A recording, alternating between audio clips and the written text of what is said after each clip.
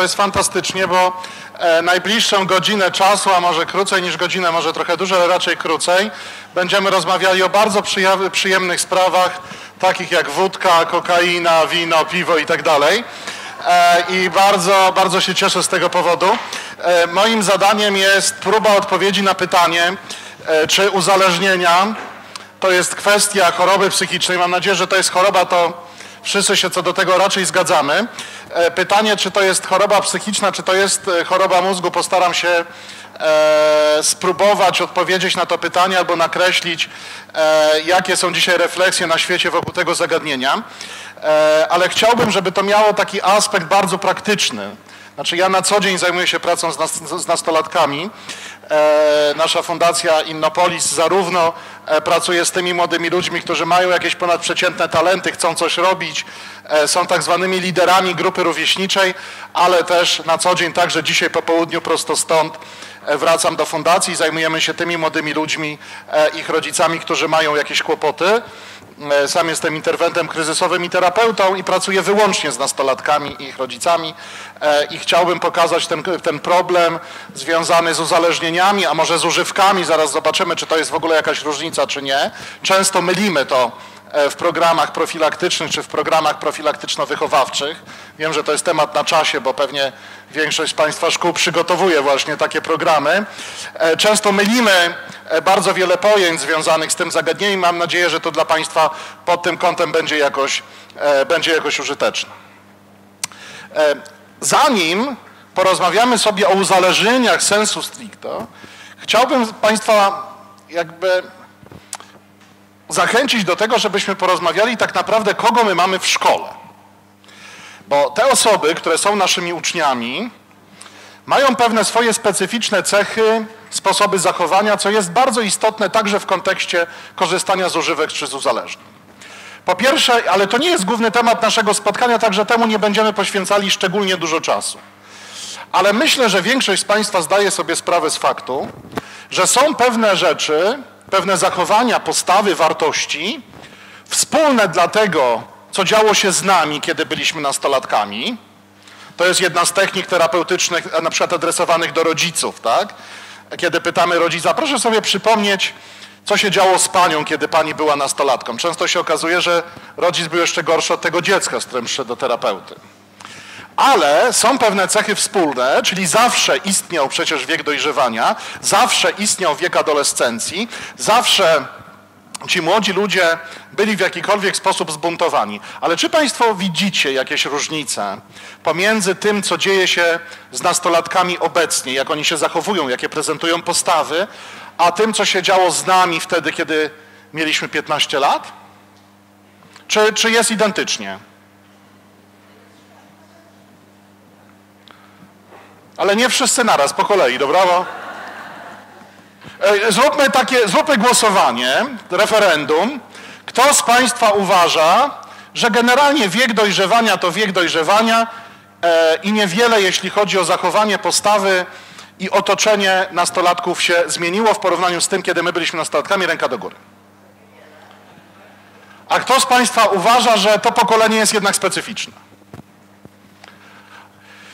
Jeśli, chociaż wiecie, to jest taka trochę technika manipulacji, prawda? Dowód społecznego dowodu słuszności. Przypominam, że 99% dentystów używa Colgate, a po 5 minutach można się dowiedzieć, że 90, 93% sensodynę, prawda? Więc może się okazać, że wcale większość nie ma racji, ale e, w moim przekonaniu tak rzeczywiście jest, że są pewne cechy, niezależne od wieku dojrzewania, które wpływają na profil tego pokolenia. E, I, e, w, i mówiąc o uzależnieniach, chociażby uzależnieniach behawioralnych, to też nie jest główny temat naszego dzisiejszego spotkania, ta specyfika pokolenia musi być w moim przekonaniu brana pod uwagę. Znaczy, powiem Państwu, że nie ma dnia, kiedy przyjmuję swoich pacjentów, e, tych nowych, którzy przychodzą pierwszy raz, żeby nie przyszli rodzice z nastolatkiem, pod tytułem Naszym zdaniem on jest uzależniony od gier komputerowych albo od internetu. Tak? Mamy kryteria diagnostyczne, już teraz coraz bardziej rozbudowane, tak zwanego gaming addiction i tak dalej. I z mojego punktu widzenia, ale to jest tylko mój punkt widzenia, 90% tych przypadków to nie są przypadki uzależnienia. Znaczy ja mam aktualnie czterech pacjentów, którzy e, są uzależnieni od gier komputerowych. E, natomiast pozostałe przypadki w moim przekonaniu nie dotyczą uzależnienia od gier komputerowych czy od internetu. To wynika ze specyfiki, specyfiki tego, tego pokolenia. I ponieważ to nie jest temat główny naszego spotkania, to chciałbym, żebyśmy, to będzie troszkę nieuczciwe, od razu przyznaję, ale chciałbym, żebyśmy poczuli w perspektywie uzależnień, jak nastolatki z pokolenia Y, pokolenia Z, czy wspomniani tutaj wcześniej cyfrowi tubylcy, patrzą na kwestie dotyczące użytkowania komputera czy internetu, czy to jest uzależnienie, czy nie. Chciałbym mianowicie Państwa zapytać i prosiłbym o głosy z sali, co czujecie, kiedy wracacie po pracy do domu, oprócz ulgi, co czujecie, e, kiedy przychodzicie do domu, próbujecie włączyć światło i okazuje się, że nie ma prądu. Złość, irytacja. Słucham? Niemoc.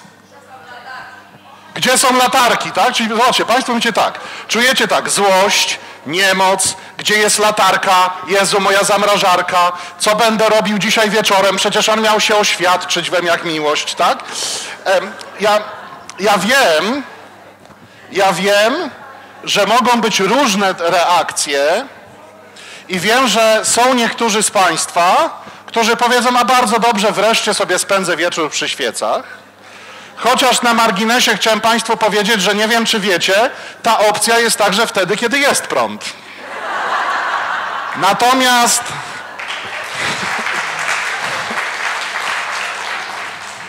Natomiast bardzo wiele osób czuje poddenerwowanie, martwimy się o to, co będzie, nie wiemy, co mamy ze sobą zrobić. E, I wiecie, co mi to wszystko przypomina? To mi wszystko przypomina nastolatka, któremu za karę wyciągamy kabelek z routera. Tak?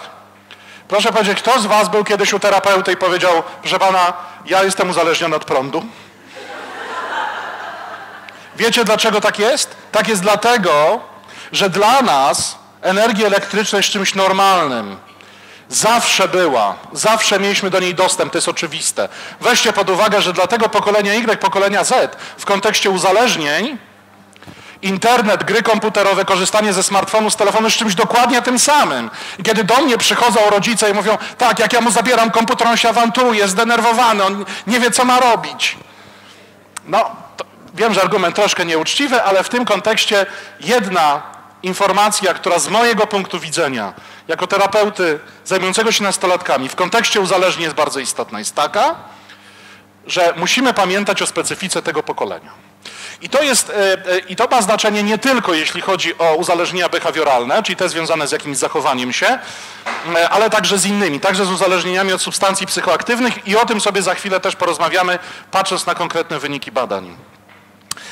Druga rzecz, bardzo istotna, to jest taka, czy waszym zdaniem, przepraszam za ten trywializm, to będzie trochę publicystyczne, czy, czy waszym zdaniem to pokolenie jest odporne psychicznie? Znaczy, zobacz, mamy wiele badań, które nam pokazuje, że to pokolenie jest wyjątkowo wrażliwe. Widzicie Państwo teraz e, te badania Światowej Organizacji Zdrowia, czy te statystyki, czy nawet z książek medycznych, z których korzystają ci rezydenci, którzy chcą być pediatrami.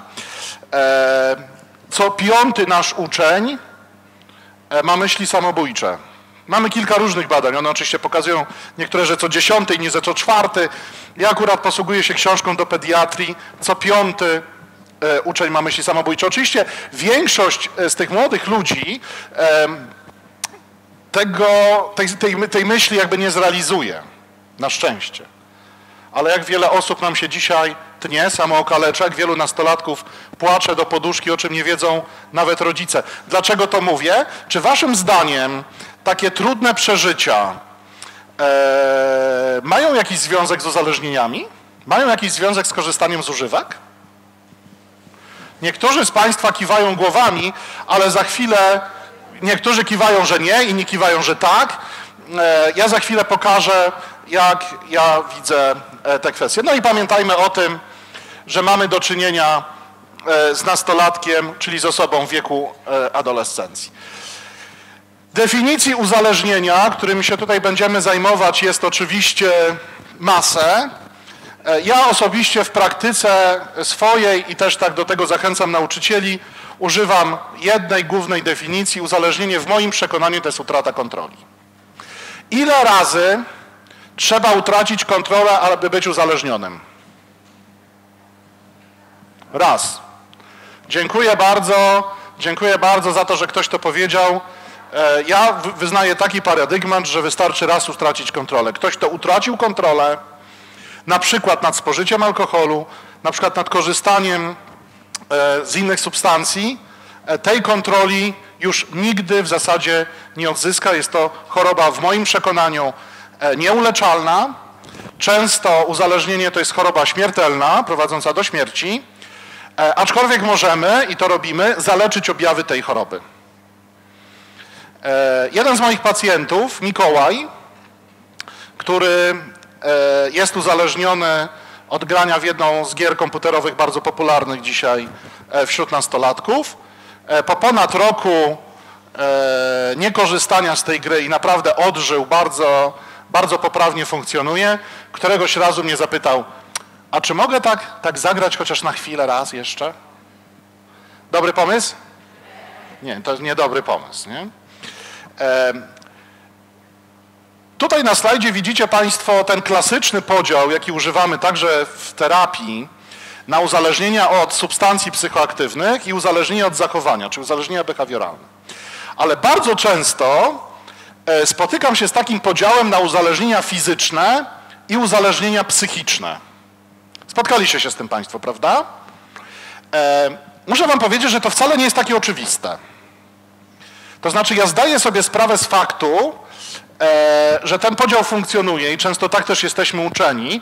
Często sam słyszę na przykład od swoich pacjentów, proszę pana, ale marihuana to uzależnia tylko psychicznie. Ale z drugiej strony, ponieważ większość moich szkoleń, które, e, e, których doświadczam, to są szkolenia zagraniczne, e, to muszę Państwu powiedzieć, że za granicą ten podział na uzależnienia fizyczne, uzależnienia psychiczne Psychiczne w rozumieniu, że jest jakiś przymus psychiczny, fizyczne, że są objawy fizjologiczne uzależnienia, wcale nie jest dominującym poglądem.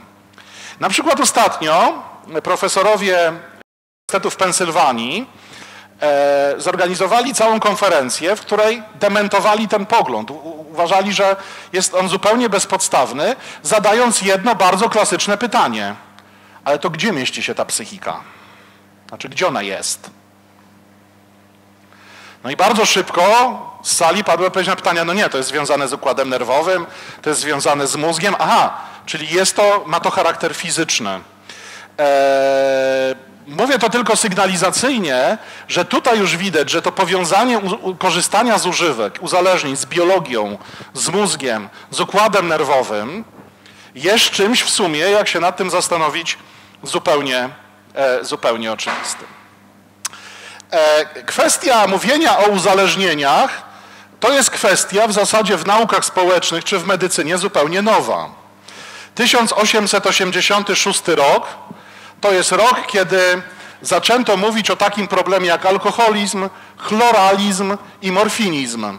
W zasadzie jeszcze w XVIII wieku takie pojęcie jak uzależnienie w ogóle w ogóle nie istniało. 200 lat, mniej więcej 200 z hakiem, rozmawiamy o takim zjawisku jak uzależnienia i dzisiaj jadąc nawet do Stanów Zjednoczonych można zobaczyć bary, gdzie są stare reklamy e, gum do rzucia i landrynków e, zawierających kokainę na przykład.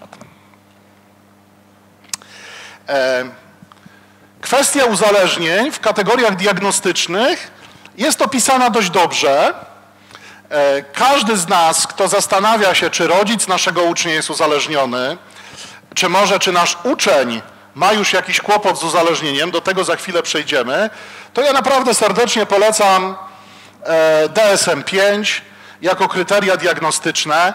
Wiem, że ta prezentacja będzie Państwu dostarczona e, i każdy, kto chce, zresztą nie jest chyba trudność, nie jest żadną trudnością znaleźć te kryteria diagnostyczne, w moim przekonaniu warto opierać się na sztywnych kryteriach. Nie to wydaje mi się, że masz kłopot.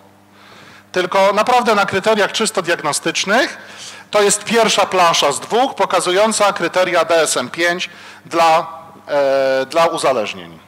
Czyli fakt, że na przykład nasz uczeń wrócił do domu kilkukrotnie pod wpływem alkoholu, wcale nie musi świadczyć o tym, że jest uzależniony.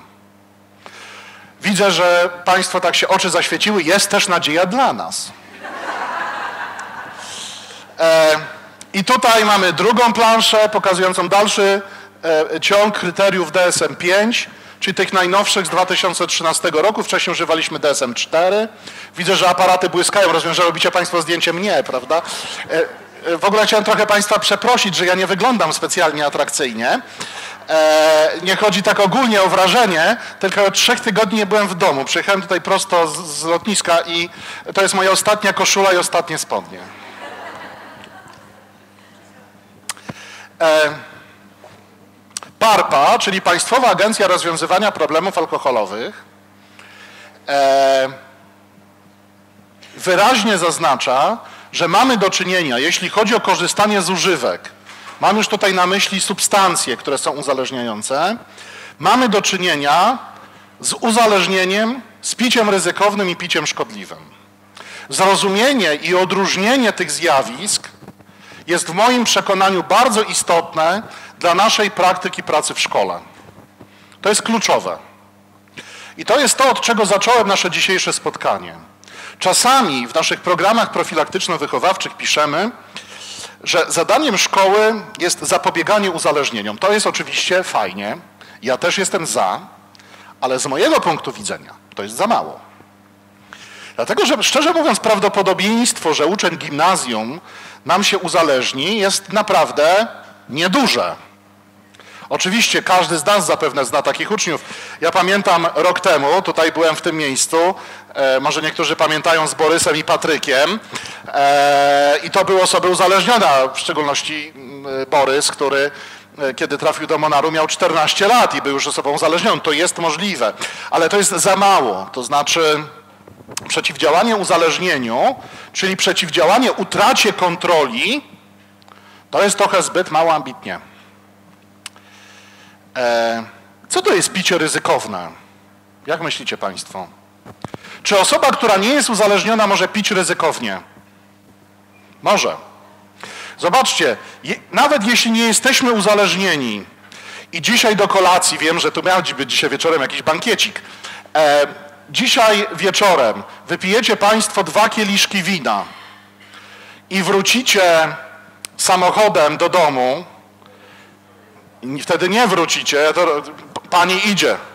Pani już od rana wie, że pani idzie, bo to jest ważne wydarzenie. To też jest symptomatyczne. Ale, ale proszę Państwa, zobaczcie, możecie nie być uzależnieni, ale podejmować zachowania ryzykowne po użyciu alkoholu. I w przypadku naszych uczniów każde spożycie alkoholu jest, jest, jest piciem ryzykownym. Dlaczego?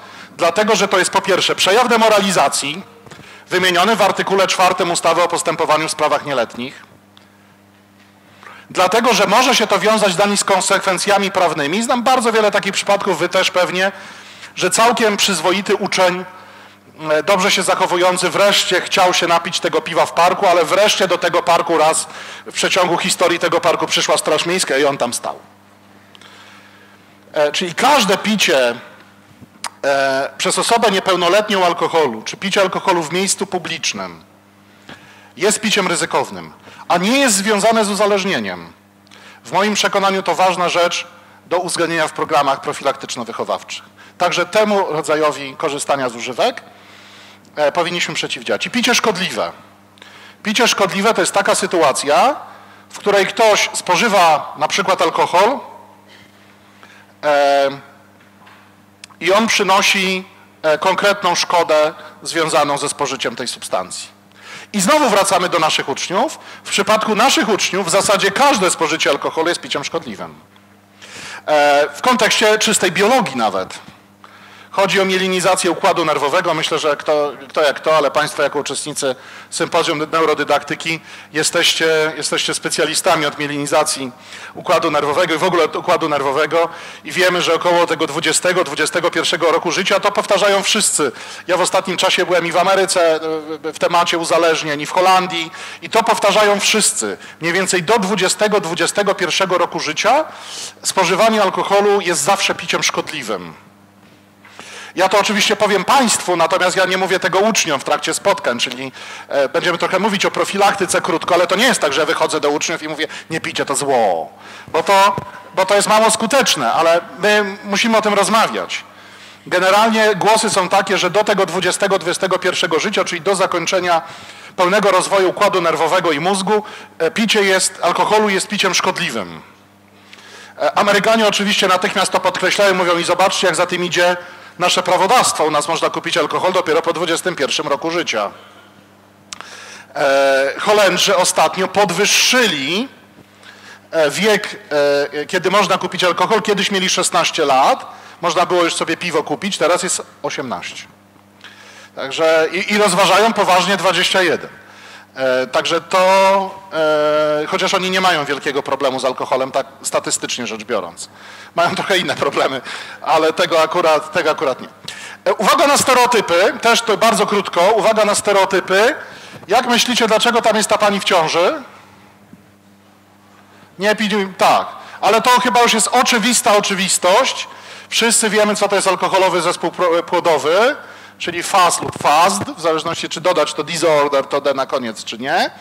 Jakakolwiek ilość alkoholu e, w ciąży jest szkodliwa. Jakakolwiek. Tam żadna lampka czerwonego wina, chociaż wiem, że wiele e, osób pewnie, e, chociaż widzę, że średnia wieku na sali jest tam 20 parę lat, ale e, mogło tak być, że kiedy panie były w ciąży, to w tych czasach tam się lampkę wina piło. Proszę, nie czujcie wyrzutów sumienia. To, że wasze dziecko was nie słucha, to nie jest prawdopodobnie od tego. E, druga, druga rzecz, e, po drugiej stronie slajdu jest taki pan w białym kołnierzyku. Czy wiecie, co to może, co, co to jest? Jaki to? Że on też może być alkoholikiem, tak, czyli on też może być uzależniony. E, pamiętajmy o tych stereotypach, które mamy. Dzisiaj o tak zwanym alkoholizmie w białych kołnierzykach, czy o tak zwanych wysoko funkcjonujących alkoholikach, HFA, mówi się bardzo dużo i to jest coraz częstszy problem w krajach cywilizowanych. E, e, nasze doświadczenie często, e, może nie tyle alkoholika, co, co narkomana, osoby korzystającej z narkotyków, jest takie, że to jest ktoś, no to jest taki Rysiek Riedel generalnie, tutaj posługując się śląską terminologią. Jest z dworca, szary płaszcz, brudny, tłuste włosy i błaga na dworcu o to, żeby ktoś mu sprzedał kolejną działkę heroiny. E, proszę Państwa, takich narkomanów w zasadzie już nie ma. Znaczy oni się zdarzają, ale to bardzo sporadycznie. Dzisiaj nasz uczeń korzystający z narkotyków czy korzystający z alkoholu, uczeń, e, rodzic naszego ucznia często będzie wyglądał tak. E, I też tego tematu nie będę rozwijał, bo to nie jest dzisiaj kluczowe dla naszego e, dzisiaj spotkania, ale pamiętajmy też o masie stereotypów, jakie my mamy i nakładamy je na swoich uczniów odnośnie spożycia alkoholu i odnośnie użytkowania narkotyków, szczególnie marihuany. Znaczy to, e, znaczy ja mam takie wrażenie, to trochę znowu uogólnie i to będzie trochę nieuczciwe, ja mam takie wrażenie, że my jesteśmy marihuanofobami. E, nasi uczniowie często są marihuanofilami. E, I dokładnie odwrotnie w przypadku alkoholu. Ja bardzo często słyszę od moich pacjentów, jaram tylko zielska, alkoholu się nie tykam. Mój sąsiad, ta, wujek, tata, wiem co to jest uzależnienie, to niszczy, ja tylko w małych ilościach, dlatego jaram tylko zielsko. E, I często jest tak, to jest, e, opowiem wam historię Kuby. E, ta historia jest zresztą zbieżna z doświadczeniami bardzo wielu, wielu osób, e, które też pracują w tej, w tej branży związanej z terapią, z diagnostyką, z uzależnieniami. E, na przykład doświadczeń monarowskich, też słyszałem na konferencji bardzo podobny przypadek. Często jest tak, że rodzice znajdują troszeczkę marihuany albo jakieś dziwnie wyglądającej substancji u swojego dziecka. Często jest tak, że podejrzewają, że dziecko korzysta z jakichś narkotyków. Być może myślą, że to na przykład dopalacze.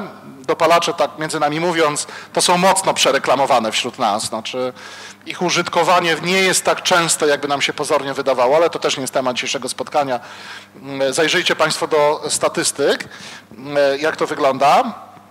E, natomiast często jest tak, że kiedy rodzic przypuszcza, że dziecko korzysta z narkotyków, przychodzi do takiej osoby jak ja e, i zdarzają się takie przypadki, jak wspomnianego Kuby, kiedy wypytuje się Kubę e, i nawet uzyskuje się jego, zdrowie, jego zgodę na to, żeby przekazać rodzicom efekty tej rozmowy i można wtedy powiedzieć rodzicom, proszę Państwa, mam dla Was dwie wiadomości. Dobrą i złą. Dobra jest taka, i Kuba zgodził się na to, żebym to powiedział, e, Państwu, że Kuba korzystał dwukrotnie z marihuany, raczej tego już nigdy więcej nie zrobi, a to pokazuje, ponieważ korzystał dwukrotnie, oczywiście to nie jest ok, ale korzystał dwukrotnie, że nie ma żadnego, e, że nie jest zagrożony uzależnieniem na tym, na, na tym etapie. Nie jest uzależniony, nie musi iść do ośrodka, nie trzeba go e, nigdzie wysyłać do szpitala. I to jest ta dobra wiadomość. Rodzice, uff, uff. A ja mówię, ale ja mam jeszcze złą, ale uff, już dobrze, nie musisz do środka. Ja mam jeszcze taką złą, że Kuba codziennie pije alkohol. A nieważne. Ważne, że, że nie ćpa. To już tam bez znaczenia, że nie potrafi już zasnąć bez wypicia szocika, czyli e, kieliszka wódki. E, I to są częste stereotypy i kiedy spotykam się z uczniami, bardzo lubię to robić, szczególnie lubię się spotykać z uczniami gimnazjów, ale w szkołach ponadgimnazjalnych również i w starszych klasach szkoły podstawowej również, kiedy spotykam się z uczniami i dyskutuję z nimi na przykład o marihuanie, bo oni wywołują taki temat, to muszę powiedzieć, że wiele informacji, które my przekazujemy młodym ludziom na ten temat jest nieprawdziwych. E, I chciałbym tylko, to też nie jest temat naszego, główny, główny temat naszego spotkania, więc chciałbym tylko zwrócić uwagę na to, że e, jeśli dyskutujemy, starajmy się nie korzystać z jakichś takich argumentów prostych, nie, ale nieprawdziwych. E, to jest coś bardzo ciekawego, to jest e, znaczy bardzo ciekawego z mojej perspektywy e, patrzenia. To są wykresy dotyczące użytkowania leków psychotropowych, przeciwdepresyjnych w Holandii i w Wielkiej Brytanii. Jak widzicie z tych wykresów, liczba pacjentów, którzy korzystają z tych leków maleje czy spada? To było celowe. No. no rośnie bardzo nam, prawda? Rośnie nam bardzo liczba pacjentów korzystająca e, z leków e, psychotropowych. Współpracująca z nami fundacja ze Stanów Zjednoczonych, e, Foundation for a Drug-Free World, ocenia, że korzystanie z leków psychotropowych w Stanach Zjednoczonych to jest około 20% problemu narkomanii. Tam w Ameryce. Myślę, że w Polsce tak jeszcze nie jest. Może nigdy tak nie będzie, e, ale to jest konkretny, tutaj mamy SSRI, tak, czyli inhibitor e, wychwytu serotoniny, jeden z najpopularniejszych leków, no następca Prozaku, znaczy Prozak jest z tej grupy. E, lek bardzo często, z którego korzystamy dzisiaj w Europie. Jest coraz większa populacja osób korzystających z leków przeciwdepresyjnych i psychotropowych. Wiemy doskonale, że uzależnienie jest procesem.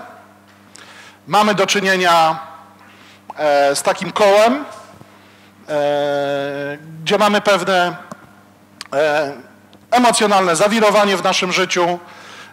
Potem mamy picie, rytuał, pragnienie picia, rytuał, użytkowanie, poczucie winy. Poczucie winy sprawia, że znowu musimy to poczucie winy zapić i to nam się zaczyna tak kręcić. To uzależnienie jako proces myślę, że to jest dla Państwa oczywiste. E, e, ten wykres chciałem jakby pokazać tylko z jednego powodu. Tutaj mamy oczywiście uzależnienie od alkoholu, tutaj mamy intensywność. Natomiast jak tam tutaj motywacja mniej więcej spada i z drugiej strony, jakie mamy pozytywne efekty korzystania ze środka, a jakie mamy tak naprawdę negatywne konsekwencje. Zobaczcie Państwo, na niebiesko mamy zaznaczone to wszystko, E, co alkohol albo inne środki dają nam w cudzysłowie pozytywnego. W ogóle picie alkoholu jest przyjemne? Tak, wiele, wiele z Państwa to potwierdza. Tak, ja myślę, że to nie ma co ukrywać, że dla wielu z nas Sam się do tych osób też zaliczam, bo nie jestem abstynentem. E, picie alkoholu jest przyjemne i my e, tutaj jedziemy na tej naszej niebieskiej kreseczce. E, natomiast w przypadku osoby, która się uzależnia, tak naprawdę ta przyjemność związana ze smakowaniem, piciem alkoholu, byciem no, w takim delikatnym stanie pod wpływem alkoholu czy po użyciu alkoholu, tak naprawdę w przypadku osoby uzależnionej tych wszystkich benefitów pra praktycznie nie ma. I pokazuję ten wykres z jednego powodu. E, pewnie znacie Państwo taki serwis YouTube. Tam jest taki kilkuminutowy film, który się nazywa Krótki film o uzależnieniu. Krótki film o uzależnieniu. Tak jest jego tytuł. Dlatego powtórzyłem dwukrotnie tytuł tego filmu, ponieważ jest to fantastyczny film, do prowadzenia zajęć w szkole. E, zaryzykowałbym twierdzenie, że w każdej grupie wiekowej, to znaczy ja i w podstawówce używam, i w gimnazjum, i w szkole ponadgimnazjalnej. Jest to film animowany, taka kaczuszka sobie wędruje, e, korzysta z pewnych substancji i z tą kaczuszką się coś dzieje. To jest w ogóle taki film e, naprawdę bardzo prosty, E, on dotyczy nie, nie, nie uzależnienia od alkoholu, w ogóle tam nie ma w ogóle mowy o uzależnieniach tak naprawdę na tym filmie, ale to pokazuje, to jest tak naprawdę ten film, jest ilustracją tego wykresu. E, I młodzi ludzie, nawet ze szkoły podstawowej, bardzo fajnie e, ten film interpretują na zajęciach. Według Instytutu Psychologii Zdrowia Polskiego Towarzystwa Psychologicznego mamy takie czynniki sprzyjające uzależnieniu. E, ponieważ będziecie Państwo mieli te prezentacje, to idźmy dalej.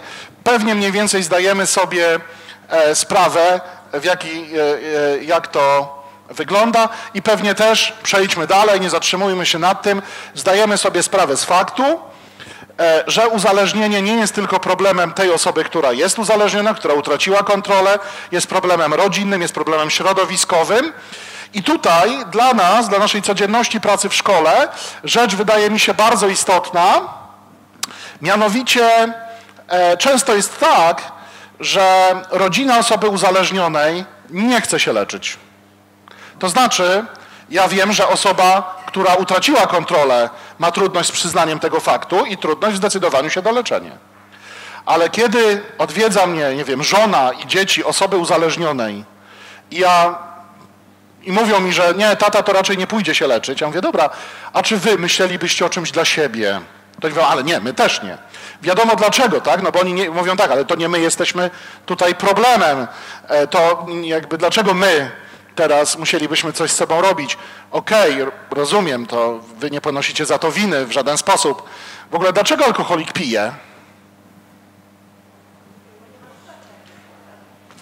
Bo musi, bo jest alkoholikiem. Dziękuję za to, że ktoś to powiedział. Znaczy chodzi mi o to, że kiedy trafiają do was rodzice albo e, tym bardziej dzieci i dzieci mówią tak, ja zdenerwowałem tatę, mamę i tata znowu wpadł w ciąg alkoholowy, to naszym pierwszoplanowym zadaniem jest powiedzieć, że to nie jest twoja wina, tak na marginesie. Alkoholik pije tylko z jednego powodu, bo jest alkoholikiem, nie ma innych powodów.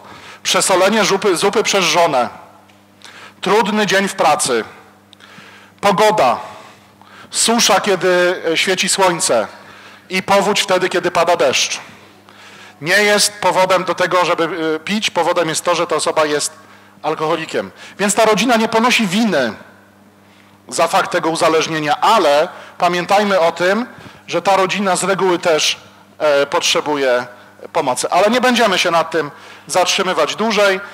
E, myślę, że Państwo doskonale zdają sobie sprawę z takiego systemowego, obronnego charakteru rodziny, ze zjawiska współuzależnienia. Myślę, że Państwo też doskonale czujecie, czym różni się pomoc rodzinna taka przyjacielska, zaangażowana emocjonalnie od tego, co my możemy zrobić w szkole. Na koniec sobie powiemy w ogóle, co my z tego wszystkiego możemy sobie zrobić, zrobić w szkole, czyli pomocą z dystansem. Muszę Państwu powiedzieć, że czasami zdarza mi się spotkać się z pacjentem jeden raz. Pacjent jest w bardzo trudnej sytuacji i mówię pacjentowi, nie mogę Ci pomóc. Pamiętam takiego chłopaka z Głowna, który przyszedł do mnie, ponieważ był uzależniony od substancji tak zwanych dopalaczy e, i spotkał się ze mną, był w fatalnym stanie. Znaczy, mm, rozmawiał ze mną całkowicie na czysto, zresztą w ten sposób prawdopodobnie okazał mi szacunek, e, że po prostu przyszedł czysty. E, rozmawiał ze mną dwie godziny. W trakcie tych dwóch godzin bardzo dużo się wyjaśniło w naszej rozmowie. To był siedemnastolatek. Bardzo dużo nam się wyjaśniło dlaczego użytkuje te środki, jak długo. Był bardzo szczery, jak wyglądają jego relacje rodzinne, jak to wygląda w jego życiu. Sytuacja naprawdę trudna. I na koniec tej rozmowy musiałem mu powiedzieć, słuchaj, nie jestem w stanie pomóc Ci w taki sposób. To znaczy spotykanie się ze mną raz na tydzień jest pozbawione sensu. Moim zadaniem jest powiedzieć Ci prawdę. Jedyną drogą leczenia, jaką widzę, jest zamknięty ośrodek. Powiedz mi, o czym myślisz przez całą tę rozmowę ze mną? O czym? Jezu, jak tylko stąd wyjdę, niech ktoś ma tylko jakiś towar z moich kolegów, ja muszę natychmiast coś wciągnąć. I on to zrobi. Dlatego, że zobaczcie, że rozmowa ze mną też nie była przyjemna. Rozmowa ze mną też była trudna. Rozmowa ze mną w istocie rzeczy była w cudzysłowie kolejnym wyzwalaczem tego, że on potrzebuje natychmiast, pilnie tylko leczenie w całodobowym zamkniętym ośrodku dla niego było drogą leczenia. Moim, moim zadaniem jest mu powiedzieć, nie będę dawał ci złudzenia, e, nie będę ci oszukiwał, nie potrafię ci pomóc. Moim zdaniem to będzie nieskuteczne. I często spotykam pacjentów, waszych uczniów, uczniów szkół ponadgimnazjalnych najczęściej, którzy mówią, e, no tak, rzeczywiście e, mam ten problem, ale chodzę już dwa lata do psychologa. Ja mówię, super, co się zmieniło? No nic. Mówię, to dlaczego chodzisz dwa lata do psychologa? Albo tak się fajnie z panią rozmawia. I e, w moim przekonaniu nie tędy jest droga. Znaczy, e, ludzie tacy jak ja nie są po to, żeby się z nami fajnie rozmawiało. Czasami się trzeba popłakać, czasami trzeba trzasnąć drzwiami, czasami trzeba powiedzieć brzydkie słowo. I nie ma w tym nic złego. To znaczy, że, to znaczy, że coś się zmienia. To a propos, a propos tego, o cholercie, pokazałem ten slajd, którego nie chciałem pokazywać, bo chciałem Państwa zapytać. Czy spożycie alkoholu wśród naszych uczniów w Polsce, tutaj mamy specjalistę po prawej stronie, który był współrealizatorem tych badań, profesora Jacka Pyżalskiego. Czy Państwa zdaniem spożycie alkoholu w Polsce w grupie e, tych starszych gimnazjalistów rośnie czy spada? A Państwo widzieli slajd już. Dobrze, bo Państwo są po prostu, Państwo są po prostu doświadczeni. Słuchajcie, to jest chyba gigantyczny sukces naszych programów profilaktycznych, prawda? Żeśmy tak już dobrze żeśmy powiedzieli i wytłumaczyli naszym uczniom, że picie jest szkodliwe i w związku z tym oni pod wrażeniem są e, i wiedzą, że spada. Dobrze myślę? No zobaczcie, no same sukcesy. Chłopcy, dziewczęta leci na łeb, na szyję. Zobaczcie, same wykresy, wszystko do dołu. Co sprzedawcy alkoholu teraz będą robić? Wódka nam spada, piwo, no wino się trochę trzyma. Oczywiście wino jest najrzadziej spożywane przez naszych uczniów. E, nie będziemy tutaj robić badań w naszej grupie, jak to wygląda, ale... A macie jakiś pomysł na to, co to się dzieje? Na jaki? Powiem Państwu, że Holendrzy, e, Holendrzy mówią, że moje przeczucie jest błędne. To znaczy, że robili badania, których akurat wyników nie mieli przy sobie, że to nie jest tak, że marihuana jest konkurencją dla alkoholu. Ale w moim przekonaniu, patrząc na moich pacjentów e, i dyskusje z moimi pacjentami, myślę, że często tak jest. Tutaj mamy przetwory konopi dla tej samej grupy wiekowej, a pójdźmy pięterko wyżej do uczniów ponadgimnazjalnych. Mamy w 2007, w 2008 mamy taki spadek e, drobny. Wiele osób uważa, że to był czas, kiedy pojawiły się dopalacze. E, w każdym razie spożycie marihuany e, zdecydowanie rośnie i gdybym ja miał powiedzieć, jakie substancje najczęściej spożywają moi pacjenci, to to jest, są rzeczywiście przetwory konopi, głównie marihuana, haszysz bardzo rzadko. I proszę Państwa, to nie jest nic o nas, że my źle pracujemy w szkołach. Ale nie ma szkoły, w której nie da się kupić marihuany. Znaczy nie było takiego gimnazjum i nie było takiej szkoły ponadgimnazjalnej. Jestem ciekawy, czy teraz się nie okaże, że nie ma takiej podstawówki. Natomiast e, nie ma. Znaczy ja wiem, że my możemy mieć bardzo porządnych uczniów, wiem, że możemy mieć przekonanie, że jesteśmy jakąś enklawą, że, że to może w Warszawie, albo w Łodzi, albo w Katowicach jest ten kłopot. Chociaż badania tego nie potwierdzają. Badania potwierdzają, że ta dostępność narkotyków na obszarach wiejskich i wiejsko-miejskich jest czasami większa niż na obszarach wielkomiejskich. Ale e, każdy nasz uczeń, który chce kupić narkotyki, je kupi i prawdopodobnie kupi je u nas w szkole. I prawdopodobnie nic z tym nie możemy zrobić, tak na zupełnym marginesie, bo w ogóle nie mamy o tym pojęcia, nie zauważymy tego, ponieważ jak Państwo wiecie, zapewne gram marihuany mieści się w małym foliowym woreczku i to nie jest litr wódki, który któryś uczeń przyniesie w plecaku i będzie jeszcze o drugą butelkę nam tam stukał. E, wszystko to, co opowiadam Państwu o uzależnieniu, to jest tak szczerze mówiąc takie bardzo polskie.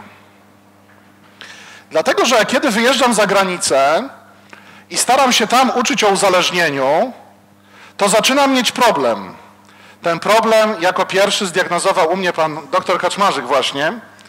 Mianowicie ja nie wiem, co to jest ta mitoza i mejoza.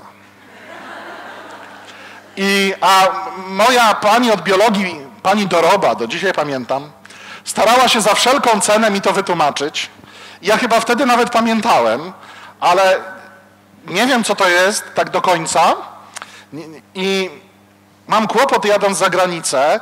To jest e, przykład tego, w jaki sposób za granicą często mówi się o uzależnieniach. E, to jest prosty certyfikat, który tutaj widzicie, certyfikat z BRID. E, który jest zalecany dla pedagogów szkolnych, terapeutów, doradców w Stanach Zjednoczonych, że posiadać taki certyfikat. Ja też, też sobie taki certyfikat wyrobiłem, co nie jest zresztą bardzo trudne, każdy z Państwa może go e, wyrobić, jeśli jesteście tym zainteresowani. E, można to zrobić nie jadąc nawet do Ameryki zdając po prostu egzamin, egzamin online po pewnym przygotowaniu. No, I to jest egzamin taki przesiewowy, dotyczący naszych umiejętności rozmawiania z uczniami e, na temat ich sytuacji i relacji z używkami i z uzależnieniami. I żeby zdać ten egzamin, nie trzeba wiedzieć, e, znaczy trzeba też wiedzieć, ale to nie jest najważniejsze, to o czym powiedziałem na początku, bo to było bardzo polskie. Żeby przebrnąć przez ten egzamin, trzeba pojąć takie obrazki, które są tutaj Państwu wyświetlone. To są, to są zdjęcia, które zrobiłem na potrzeby tego spotkania z przygotowania do, e, do egzaminu z BRIT. Czyli każdy nauczyciel, pedagog, który chce mieć ten certyfikat, musi zrozumieć, w jaki sposób działa układ nagrody w naszym mózgu, co to jest dopamina, e, co to jest halopelidor, e, w jaki sposób funkcjonuje i rozwija się mózg, jaki jest wzór chemiczny e, e, pochodny kanabidoli w zależności od ich rodzaju? Jak to dokładnie działa? Co to są receptory CB1 w muszczku? To jest kluczowe. Tak naprawdę połowa przygotowania do tego egzaminu to jest, to jest czysta, czysta biologia. W ostatnim czasie coraz częściej spotykam się, szczególnie za granicą, jeszcze co ciekawe nie do końca w Polsce, z określeniem tego, że w istocie rzeczy uzależnienie jest bardziej chorobą mózgu niż chorobą psychiczną. To byłoby troszeczkę, nie, znaczy to jest niezgodne w zasadzie e, z tymi kryteriami e, DSM-5, które przecież w sposób jasny idą w tym kierunku, że to jest e, choroba psychiczna i tak powszechnie uzależnienia e, e, są definiowane. Ale zobaczcie, to jest propozycja Uniwersytetu w Amsterdamie, która pokazuje nam ewolucję myślenia na temat uzależnień. Zaczęliśmy od modelu moralnego, zaczęliśmy mówić o moralności, e, potem przeszliśmy e, do czystej jakby farmakologii chemii, Potem skupiliśmy się na objawach uzależnienia, e, potem na tym, że to jest jakieś e, zaburzenie, potem na tym, że to jest zaburzenie uczenia się, potem dużo mówiliśmy o społecznych konsekwencjach uzależnienia i mi się wydaje, że my w Polsce jesteśmy na tym etapie, bo to, co było do tej pory, to, co Państwu mówiłem o uzależnieniu, to takie rezime, podsumowanie naszej wiedzy o uzależnieniu, to w istocie rzeczy był ten model społeczny mówienia o uzależnieniu. E, I coraz częściej, szczególnie za granicą, mówi się o konieczności badań czysto biologicznych, czysto neurologicznych, e, kwestii związanych z uzależnieniem. Jak to ma wyglądać w praktyce? Przyznam się Państwu do czegoś. Widziałem szczury, którym przez kaniulę w mózgu wszczykuje się kokaina i amfetamina. I chciałem Państwu to pokazać. To może być troszkę dla Państwa nieprzyjemne, ale bardzo wiele ośrodków badawczych na świecie idzie w tę stronę badania uzależnień. Nie w stronę badania kwestii społecznych, tylko w kwestii czysto, e, czysto biologicznej.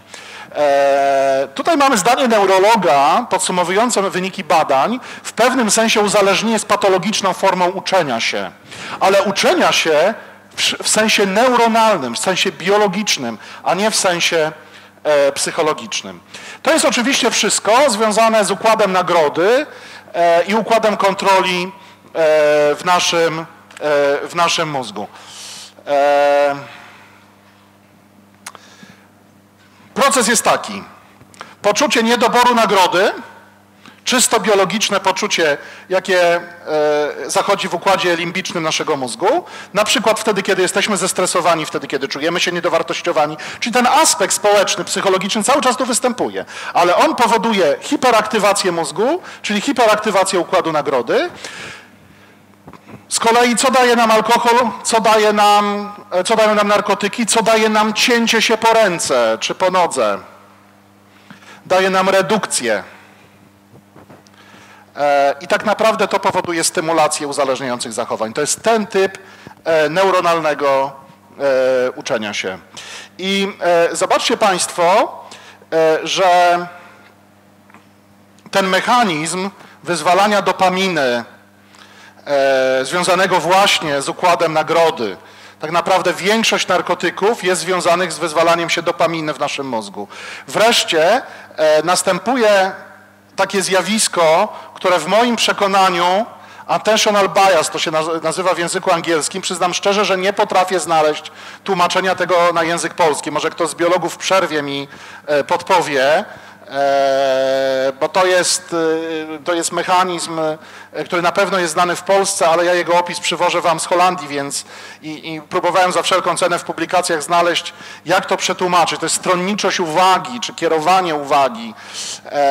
Chodzi po prostu o to, że układy neuronalne w naszym mózgu pod wpływem dopaminy przekształcają się i dochodzi do takiej sytuacji, w której uzależnienie E, powoduje na poziomie neuronalnym kierowanie naszej uwagi e, w stronę tych substancji, od których jesteśmy uzależnieni. I słuchajcie, to można na tym dyskutować, to być może wydaje się być strasznie skomplikowane, ale sam byłem podmiotem badań, to znaczy ja byłem badany, e, Stroop Effect, tą metodą, czyli metodą czytania wyrazów napisanych w różnych kolorach i badacz E, na Uniwersytecie w Utrechcie, w Instytucie Weterynarii. E, na podstawie tego badania, mojego czasu odczytywania słów neutralnych e, w porównaniu z odczytywaniem słów zawierających nazwy alkoholi i nazwy narkotyków, powiedział mi, ile ja spożywam alkoholu. Zbadał moje drogi neuronalne w mózgu i słuchajcie, trafił w sedno.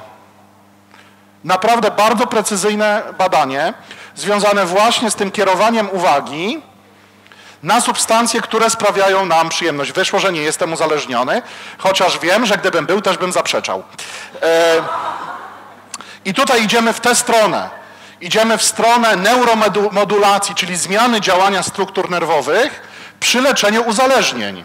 Zobaczcie, to zupełnie nowy świat. Znaczy ja dość długo e, funkcjonuję w tej branży leczenia uzależnień i nie spotkałem się jeszcze w Polsce, żeby ktoś komuś zaproponował e, techniki neuromodulacji jako sposób leczenia uzależnień. My jesteśmy sceptyczni nawet co do stosowania środków farmakologicznych, które na przykład w Skandynawii, z której notabene dzisiaj w nocy właśnie wróciłem, są st standardem jakby. Tam osoba, e, osoba uzależniona oprócz psychoterapii, oprócz ewentualnie grupy wsparcia w formule podobnej do naszego, naszej AA, generalnie dostaje e, leki związane z uzależnieniem, czyli związane na przykład z tym, żeby niwelować stres. Pamiętacie ten wyzwalacz, prawda? Emotional trigger jako, jako, jako wyzwalacz e, tego procesu picia, albo, i plus dostaje leki e, związane właśnie, z, powodujące właśnie neuromodulację e, struktur nerwowych. Mamy wiele różnych propozycji, w jaki sposób to robić. Tutaj Państwo macie macie zdjęcia. Jedną z tych propozycji neuromodulacji, proszę, żebyście Państwo nie pospadali teraz z ławek. Są gry komputerowe. Pokażę Państwu teraz grę, która jest w trakcie badań na Uniwersytecie w Amsterdamie dla palaczy. I to nie jest gra, która ma za zadanie, widzę, że niektórzy teraz czekają z entuzjazmem, jejku, chcę w to grać, chcę w to grać, ale to nie o to chodzi, że ktoś wychodząc ze znajomymi przed pracę e, ma w ręku telefon i w związku z tym po prostu ten telefon e, e, zastępuje mu papierosa. Tylko chodzi o to, że ta gra komputerowa ma kształtować struktury nerwowe w naszym mózgu. Te, które uległy zmianie w związku z faktem, w związku z faktem uzależnienia. Zaraz zobaczymy, czy uda nam się pokazać tę grę. E, z jakichś powodów nam się nie uda, a szkoda. E, nie wiem dlaczego tak jest, ale, mm, ale, ale nie, ale to ja dopilnuję, żebyście Państwo, nie, nic tutaj nam się nie dzieje, żebyście Państwo E, dostali to w materiałach, e, jak taka gra, jak taka gra e, wygląda, która ma za zadanie neuromodulację naszych struktur nerwowych. Attentional bias to jest właśnie ta stronniczość uwagi, że osoba uzależniona na poziomie neuronalnym, biologicznym kieruje swoją uwagę w stronę substancji, która powoduje tę redukcję napięcia w układzie, w układzie nagrody. No i pojawiają się proste pomysły. No przecież mamy haloperidol, który jest antagonistą dopaminy. Może on jest rozwiązaniem, może chodzi tak naprawdę e, o to, że będziemy leczyli w przyszłości osoby uzależnione e, lekami. Tutaj macie Państwo zdjęcia z badań, które też odbywały się e, w mojej obecności, badań związanych z mózgiem człowieka, z jego funkcjonowaniem, w zmianach mózgowych, w związku z użytkowaniem substancji. Być może biologiczna, neurologiczna korekta tych zmian sprawiłaby, że człowiek z powrotem zyska, e, zyska e, kontrolę. E, jest bardzo dużo badań w Stanach Zjednoczonych z, z, wykorzystaniem leków, ale uwaga, z wykorzystaniem światła. To są zdjęcia prawdziwych szczurów, u których próbuje się neuromodulacji za pomocą światła. Te szczury są uzależnione od amfetaminy. Eee, to sobie zostawmy też, żebyście Państwo doczytali w materiałach, bo czas nam się powoli kończy. Tu jest wyjaśnione, w jaki sposób narkotyki wpływają na dopaminę. Tak? Eee, jedne hamują transport dopaminy, eee, inne wydzielanie dopaminy. Zobaczcie, to jest coś bardzo ciekawego. To jest fragment badań, E, na Uniwersytecie w Utrechcie. Tutaj mamy e, e, szczura, który samodzielnie dawkuje sobie kokainę bezpośrednio do mózgu. Zobaczcie, pierwszego dnia dawkował sobie tyle, drugiego widzicie co się dzieje? Ja myślę, że trzeciego dnia ten szczur utracił kontrolę. I w ten guziczek, który dawkuje mu tę kokainę, to zawsze wtedy, kiedy E, czas działania tego środka spadał, natychmiast przyciska guzik. Zobaczcie, co się dzieje, albo może Państwo zgadniecie, a co się dzieje, kiedy kokainę zamienimy na placebo?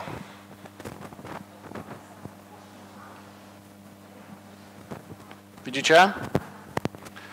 Czyli to nie jest, wiecie dlaczego to jest ważne? Bo to nam pokazuje, że szczur nie jest uzależniony behawioralnie od klikania w guzik. Jest uzależniony od substancji. Kiedy jego doświadczenie pokazuje, że ta substancja nie jest substancją psychoaktywną, e, nie przestaje ją być zainteresowany. A zobaczcie, co się dzieje, jak z powrotem wracamy do kokainy. E, przepraszam, że tak pokazuję czasami takie drastyczne wiem, że e, zdjęcia, wiem, że te eksperymenty budzą też wątpliwości natury etycznej. Ale być może powinniśmy spoglądać na osobę, która jest uzależniona troszkę bardziej wyrozumiale. Nie potępiać jej tak szybko. Ja wiem, że e, e, w naszym środowisku nie ma miejsca na potępianie osób uzależnionych. My wiemy, że to jest choroba, nikomu nie wypominamy, e, ale na przykład dla mnie to były ważne badania, bo one pokazały mi, jak skomplikowanym zjawiskiem jest uzależnienie. I to nie jest tylko kwestia tego, jak czasami gdzieś słyszymy, oczywiście nie od profesjonalistów. Pije, bo chce, jakby chciał, to by nie pił. Może, może to wcale takie nie jest. Słuchajcie, a może jest jeszcze inaczej. A może uzależnienie to jest choroba genetyczna. Czyli może to nie jest choroba psychiczna. Mówiliśmy sobie o tym, że może to jest choroba mózgu, może to jest choroba układu nerwowego, a może to jest choroba genetyczna. No i słuchajcie, no mamy badania na ten temat, e, szwedzkie nad dziećmi adopcyjnymi. E, Szwecja była dobrym krajem do realizowania tych badań w 2012 roku, e, dlatego że monitoring państwa jest dość duży, e, struktura, nadzór społeczny jest spory, więc dość łatwo było badać dzieci adopcyjne, które w zasadzie nie miały kontaktu z rodzinami biologicznymi. I co się okazało? Okazało się, że dzieci rodziców biologicznych, którzy byli uzależnieni od alkoholu, są dwukrotnie bardziej narażeni na uzależnienie. Wielki znak zapytania po tych badaniach. Co to znaczy? Były badania wykonywane na bliźniakach, które zostały rozdzielone we wczesnym dzieciństwie. Wyniki tych badań są niespecyficzne, dlatego nie zamieściłem ich na slajdzie, ale raczej E, wyniki były podobne do szwedzkich. Różnie można było interpretować, ale raczej wyniki podobne były do szwedzkich. I wreszcie e, badania już sprzed 15 lat e, na zwierzęta, które są kontynuowane właśnie przez Bruno Fanta, którego miałem okazję poznać z Uniwersytetu Pensylwania. Oni szukają genów odpowiedzialnych za uzależnienie. Na pytanie, Bruno, czy wreszcie możesz mi odpowiedzieć na pytanie, czy uzależnienie to jest choroba genetyczna? Bruno mówi, daj mi jeszcze 20 lat. Natomiast mówi jedną rzecz, genetyka jest ważnym czynnikiem uzależnienia. I nie chodzi o to, że alkohol czy inne substancje powodują modyfikacje na poziomie genotypu. To nie o to chodzi, to jest jasne, że tak jest. To chodzi o szukanie genetycznej przyczyny yy, uzależnienia. Jakie leczenie przyszłości? E, w moim przekonaniu, po pierwsze, działania spersonalizowane. Czyli takie działania e, wobec osób uzależnionych, które są adresowane konkretnie do danej osoby. E, druga rzecz, psychoterapia, ale raczej ta o długotrwałej skuteczności. Raczej nie krótkoterminowe trzy spotkania, dziękuję, nie piję zdrowy. Łączenie farmakologii z psychoterapią. W Polsce kontrowersyjny temat, w Skandynawii właśnie powszechny, standard. E, myślę, że można to wskazać jako sposób leczenia przyszłości. E, łączenie różnych leków. Mamy obecnie kilkanaście leków, które są stosowane w lecznictwie osób uzależnionych. Tak jak wspomniałem, część idzie w kierunku obniżenia napięcia, aby alkohol nie był substytutem dla tych leków. Inne idą w kierunku zmniejszenia tego przymusu pragnienia picia. Badania genetyczne. Cały czas prowadzone, cały czas e, szukamy odpowiedzi na pytanie, może to jednak jest choroba genetyczna. Neuromodulacja, coś co już e, jest badane w Holandii, to co pokazywałem gra komputerowa, światło, leki mające na celu modulację e, układu nerwowego. I rzecz, którą ja się zajmuję, bardzo istotna, na którą też zwracają uwagę Amerykanie, e, w przypadku sytuacji trudnej, e, bardzo duży stres, naszego ucznia rzuciła dziewczyna, próba samobójcza, śmierć rodzica, problemy w domu i tak dalej, dobrze przeprowadzona interwencja kryzysowa, rozumiana jako pewną procedurę, jaką wykonujemy po, po, po trudnym zdarzeniu, e, badania Uniwersytetu Maryland w Stanach Zjednoczonych, e, także po e, katastrofie 11 września e, pokazują, że od 50 do 70% możemy ograniczyć ryzyko uzależnienia w sensie e, patologicznego zapicia tego trudnego wydarzenia, powodującego docelowo wprowadzenie człowieka w rytuał e, picia alkohola, co zatem idzie w utratę kontroli. 50-70% e, dobrze przeprowadzona interwencja kryzysowa zaraz po zdarzeniu. E, kto z Państwa w szkole, czy, czy, są takie szkoły tutaj, które są w stanie prowadzić interwencję kryzysową, wiedzą co to jest, mają człowieka przeszkolonego od tego. To jest problem jakby ogólnopolski, nie? No, ale to nie na dzisiaj. E, lądujemy powoli, e, ponieważ czas nam się kończy, a w zasadzie nam się skończył, więc bardzo krótko e, lądujemy na koniec e, i chciałbym, żebyśmy wylądowali w naszej szkole, czyli jaka jest w tym wszystkim rola szkoły, moim zdaniem. Znaczy, po pierwsze, e, nowoczesna profilaktyka zachowań ryzykownych. Profilaktyka o charakterze liderskim, profilaktyka o charakterze rówieśniczym, E, wszystkie te nowe trendy w profilaktyce, też macie Państwo to umieszczone w slajdach, czym różni się stara profilaktyka, profilaktyka informacyjna, profilaktyka strasząca konsekwencjami zachowań ryzykownych od profilaktyki liderskiej, rówieśniczej. E, nie ma w tych slajdach reklamy, e, ale w naszej fundacji też rozwijamy taki program profilaktyczny, nazywa się Motivation Punch, czyli motywacyjne uderzenie. E, i staramy się prowadzić właśnie taką nowoczesną profilaktykę zachowań ryzykownych, która znacząco się różni od tego, co było kiedyś. E, po drugie, e, czy mogę Panią prosić też o kilka? Bo Pani widzę z zawodowym fotografem. Dziękuję. Po drugie, to jest kwestia realizacji procedur. Nic tak nie pomaga osobie uzależnionej, jak poniesienie konsekwencji jej postępowania. E, I to dotyczy zarówno ucznia, jak i rodzica. Te procedury są, na przykład ja też mam jakąś propozycję takich procedur. Jest taki specjalny plakat, nie książka, bo książka to nam się nakurzy w pokoju nauczycielskim. Plakat, on też jest zamieszczony e, w tych materiałach, w razie czego można go też ściągnąć z internetu i to są procedury zaakceptowane i przez kuratorium, i przez specjalistów od uzależnień. E, to mi się wydaje cenne, bo dzięki temu wiemy, że dobrze postąpiliśmy, nikt nie jest w stanie nam nic narzucić. Interwencja kryzysowa.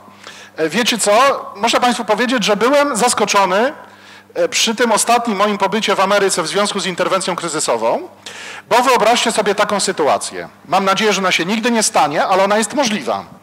E, w waszej klasie jakiś uczeń miał próbę samobójczą w szkole.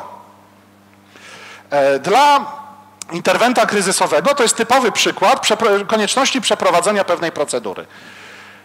Jak myślicie, kto jest kto jest pierwszym podmiotem? Jaka grupa w szkole powinna być pierwsza objęta interwencją kryzysową? Wiecie, że nauczyciele? Procedura CISM, w której ja prowadzę interwencję kryzysową, jako pierwsza zorganizowałaby spotkanie z wami, z nauczycielami. E, procedura interwencji kryzysowej z niej korzystają nie tylko przecież nauczyciele, psycholodzy, pedagodzy, ale także na przykład policjanci, ratownicy medyczni. I to jest arcyciekawe, że e, w amerykańskim rozumieniu interwencji kryzysowej, kiedy dochodzi do morderstwa na jakimś osiedlu, gdzie relacje sąsiedzkie są bardzo bliskie, przyjeżdża tam policja, ratownicy medyczni, wyobraźmy sobie, że to jest morderstwo, morderstwo ze szczególnym okrucieństwem. Wiecie, do kogo przyjeżdża interwent kryzysowy jako pierwszy? Do policjantów, którzy widzieli zwłoki do ratowników medycznych, a z sąsiadami rozmawia dopiero później. E, nam w szkole brakuje takiego wreszcie zajęcia się nami, nie? Że my jesteśmy tak strasznie szkoleni, czasami nawet przeszkoleni, bym powiedział, a tak wreszcie ktoś by się zajął, zajął nami. Ja muszę przyznać, że tak jak pamiętam swoje relacje ze szkołami, w których wydarzyło się coś bardzo trudnego, I, to, to zapotrzebowanie było proste. Czy może pan przyjść porozmawiać z dziećmi? No mogę, a wy? Przecież to, w jaki sposób wy do tego podejrzecie, jak wy to przeżywacie, przecież to ma wpływ potem też na dzieci. Poza tym e, naprawdę ten mechanizm, który pokazałem na początku, coś trudnego wydarzyło się w mojej szkole i muszę przyjść do domu i wreszcie sięgnąć po ten kieliszek wina albo szklankę wódki, nie jest rzadki także i na tej sali, jestem tego pewny. Redukcja szkód, e, harm reduction, bardzo ważna rzecz dla mnie w szkole.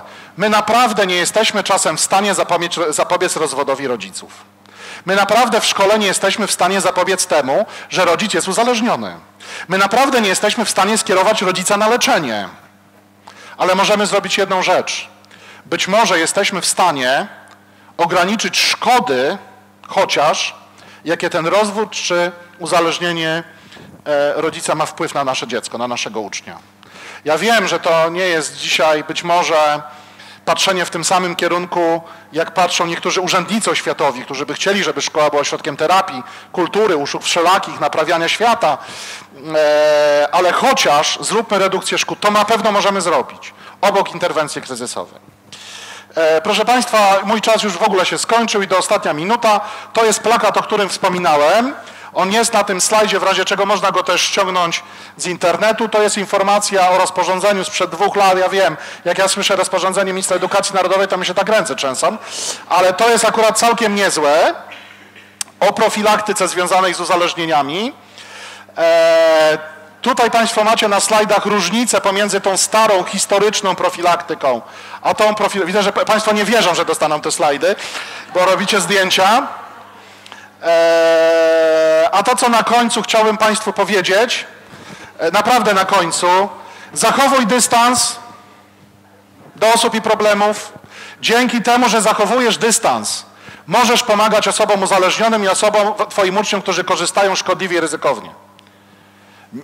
Musimy być zaangażowani, musimy być empatyczni, e, musimy mieć umiejętności komunikacyjne, ale pamiętajmy, że emocjonalne zaangażowanie to jest najbliższa rodzina przyjaciele, zachowujmy dystans, dbajmy o siebie e, i nie wincie siebie za bardzo za porażki. Jeśli macie takiego ucznia, że robicie dla niego wszystko, co możliwe, wszystko i robicie dobrze, a może być tak, że on nie zmieni swojego zachowania i tak jak pił, to pije, tak jak ćpa, to ćpa. Tak jak ćpał, to ćpa. I to nie będzie wasza wina. I powinniście wychodzić ze szkoły, zamykać drzwi i powiedzieć: Zrobiłem wszystko, co potrafiłem, więcej już nie mogę, dziękuję.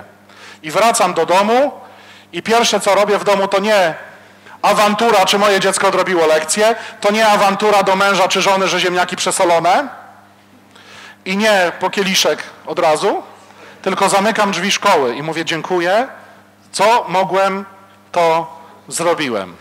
E, bardzo Państwu dziękuję za uwagę.